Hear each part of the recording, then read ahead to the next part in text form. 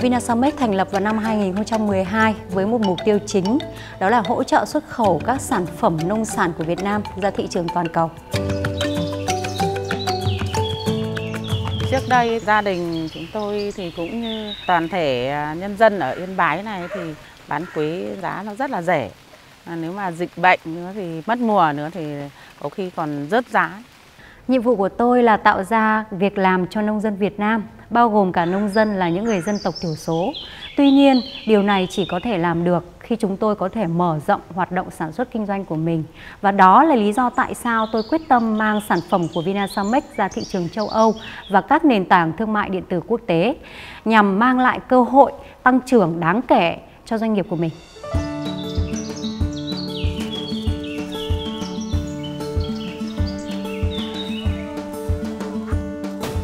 Vinasomex gặp khó khăn ban đầu trong việc quản lý, quy hoạch vùng nguyên liệu và phát triển thị trường.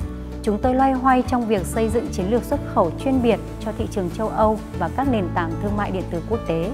Trước đây chúng tôi chưa hề có mạng lưới đối tác và khách hàng tại thị trường châu Âu. Các kênh xúc tiến xuất khẩu truyền thống như hội trợ và triển lãm đều phải tạm dừng do đại dịch Covid-19.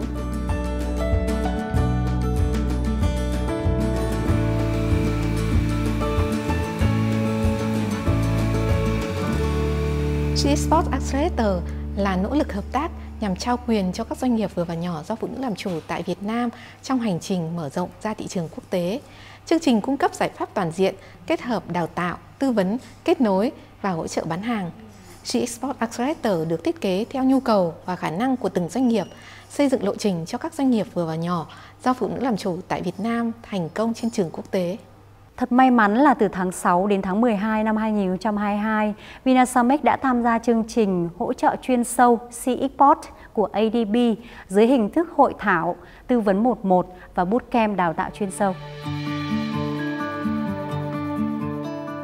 Các kỹ năng, kiến thức, mạng lưới mới và cơ hội thu được từ chương trình đã giúp hoàn thiện và thúc đẩy sự phát triển của Vinasamex, đặc biệt trong việc xuất khẩu sản phẩm sang châu Âu. Cụ thể, những hỗ trợ này đã giúp cho chúng tôi hiểu thêm về thị trường châu Âu đầy tiềm năng và nhờ đó chúng tôi đã có thể gửi chuyến hàng đầu tiên đến châu Âu vào tháng 11 năm 2022.